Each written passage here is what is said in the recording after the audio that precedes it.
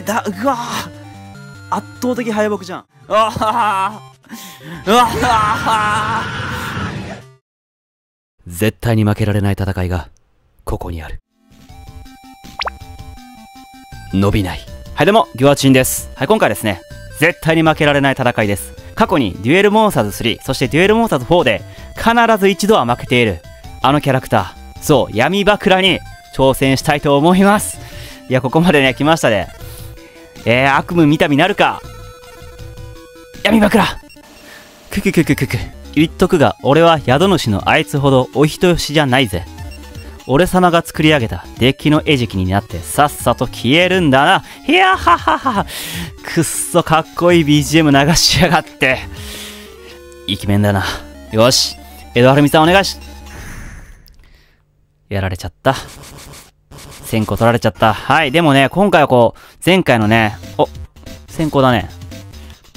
昨日のね、こう、生配信で皆さんと一緒にこう、デッキ構築をしましたので、こう、皆さんのね、この、思いをこう、勝手にね、今、背負っております。背負った気持ちで戦っております。絶対に今回ね、一発目で、おージェミナエルフ勝ちたいと思いますよ。久しぶりに見たな、ジェミナエルフ。うん。アンズ戦ではよく見たんだけど、よくっていうかね、たまに出してきてたしね。よし。このクリッターもね、この前、えー、生配信で相談して入れました。えっと、どうしようかな。とりあえず、えー、セイントマジシャなんで。はい。魔法が多いしね、今。どんな感じで来るのかな？ドローよし、神の宣告。通るかな？強奪。多分通らないだろうな。通る？通らない？しません。これ、お願いだからさ、自分の魔法カードにさ、自分の宣告とかがさ、反応するのやめてほしいんだけど。よし。一気に攻めます。来るか？ミラーホース来るか？はい、来たはい、来た 来ましたね。安定のミラーホースか。今のセイントマンションでよかったかなおなんだなんだ鬱陶しいっちゃありゃしないね、本当に。ターンエンド。何で来る？おいいっすね。デーモの召喚ですか。いいですよ。どうぞどうぞ。どうぞどうぞというおもてなしの精神で私は戦います。よし。全然いいよ。っていうかさ、バクラがさ、ビジャ版使わないでさ、デーモの召喚使うとかさ、どうなんだい？キャノンソルジャー使おうかな。よし。ドロー。そうか、キャンソルじゃなくてよかったか。デーモの召喚でよかったのか。ミスったね。まあいいや。まあ、まあいいやって。語呂代わり。オッケー。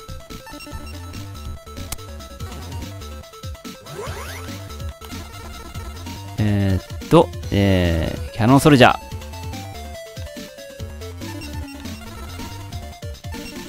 よし。デーモンの召喚で攻撃。デーモンの召喚なあなあ攻撃を通してくれない。まだ一回も通し通ってないよ。こんな屈辱あるか。で、まあ、効果で発射しときましょう。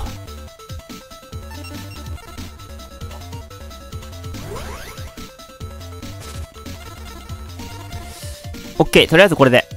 うーん、ムムだな、ほんと。ドロー。強欲な壺。オッケー。何が出るか。あ、チェーンやめて。チェーンやめてくれ。オッケー。セイントマジシャン。はい。来い。何だ？おうなんで地味なエルフ？えええちょっと待って。ちょっと今思考が追いつかない。えなんだなんでだ？えなぜだ？なぜ彼は攻撃してこなかった？不正カードを気にしたっていう CPU の判断？え？ちょっと今わかんないな。本当に。反転なんだ今のは？何をしたんだ？バクラなりのなんか考えがあるのかな？それか今、もしかしてあれか、表のバクラがこう邪魔したのかな？今戦ってんのかな？よし。で、心変わり。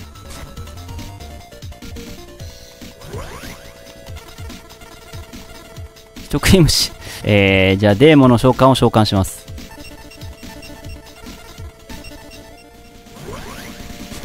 よし。そして、えっしゃ、そせおっ、おしこれは来るぞ。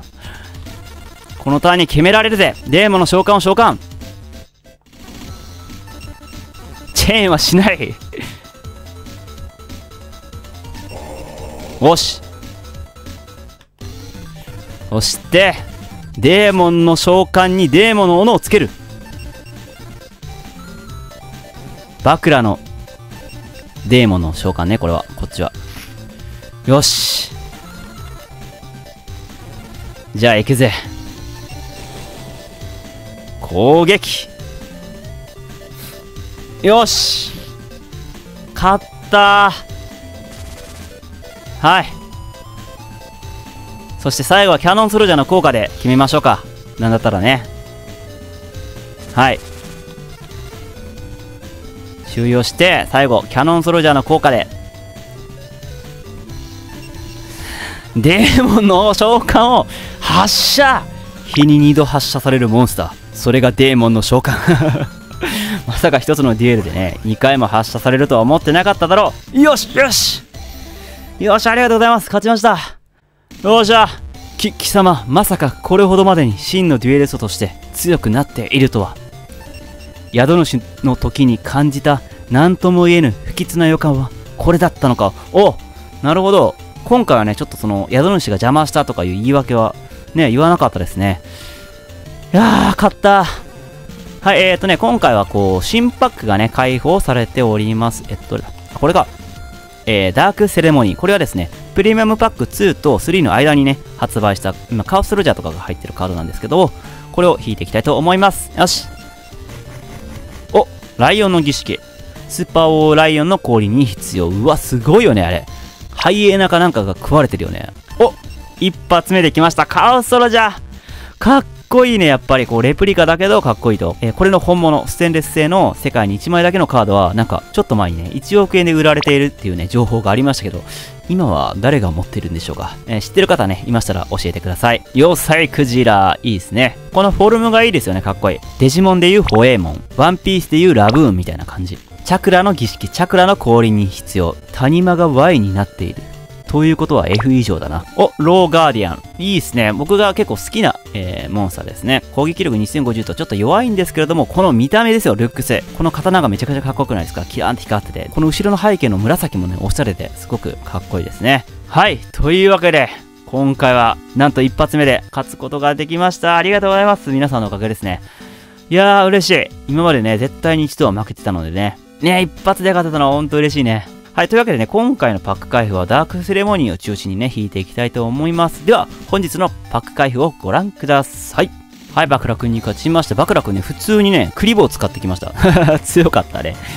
おゼラかっこいい。来ましたね。本物は世界に2枚だけのカード。トライホーンドラゴンとスカルビショップをこう足して2で割ったような感じ。お、悪魔鏡の儀式、デビルズミラー降臨に必要ですよね。この血みどろの腕の人がこう、生贄に捧げられてんのかな紫の腕といえば、シーカーメンさんか。それで出るのがこのデビルズミラー。おー、かっこいい。これは本物は世界に4枚だけのカードですね。うーん、なんとももういじりがいがないというかね、突っ込みがいがないというか、ただただかっこいいっていうね、今回は。要塞クジラの誓い。これもね、来ましたね。当たらなかったけど、さっき。よしよし。ジャベリンビートルの契約。こうジャベリンビートルを出すのには、こう契約が必要なんだっていうのがわかりますよね。これ見てたら面白いのが、契約とかね、誓いとか、こう儀式とかあったりとかね、どのようにそのモンスターが出るのかっていうのがね、結構面白いところではあるんですよね。はい、獏良君に勝ちましたと。では、引き続き、ダークセレモニーを引いていきましょう。ローガーディアンさっき来ましたね。お、そしてスーパーウォーライオン来ましたね。これ本物は世界に3枚だけのカードですね。下半身が相当際どいですね。スーパーウォーライオンのスーパーウォーライオンがスーパーウォー、お、カオスの儀式来ましたね。これでカオスソルジャーが使えます。かっこいいね。お、ジャベリンビートル来ましたね。ビートル界の王様。この平面的にね、描かれてる構図が結構好きですね。攻守ともに中途半端な数値っていうのも丸。要塞クジラさっき来ましたね。次は違うパック引きましょうか。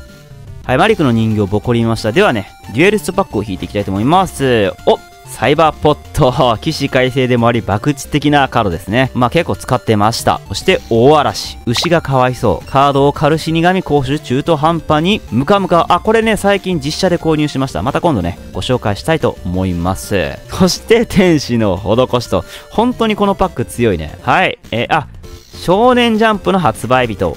おこれは、この付録はひどいな。ちょっと集英社と話そうか。はい。お、そうだ、V ジャンプの発売日でもあると。重なるってあんの？そんなこと。おっとブラックマジシャンガール。これは初めてじゃないですかね。ですよね、多分。おー、これは良かった。これね、ゲームでもなお美しいっていうのがね、素晴らしいですよね。集英者と話し合った回がありました。そして、マンモスの墓場、墓場のマンモスに、サイガ、アンデッドウォーリアー、ワイトの血が強い、暗黒のドラゴン、目はあまり良くない、知らんがな。はい、というわけで今回はね、闇枕に勝つことができました。1回でね。いや本当にね、嬉しい。皆さんとこうね、デッキ構築をした回がね、ありました。まあ、引き続きね、こう、何回か戦っていってね、まあ、どれぐらい強いのかっていうものも含めて、後日ね、ちょっとなんかお伝えできればなと思います。はい、というわけで、今回も最後までご視聴いただきありがとうございました。良ければ高評価をしていただけると幸いです。次はね、なんか D タクティクス、あの、練習問題みたいな、あれもね、できればななんて思ってたりしてます。それでは、失礼いたします。バイバイ。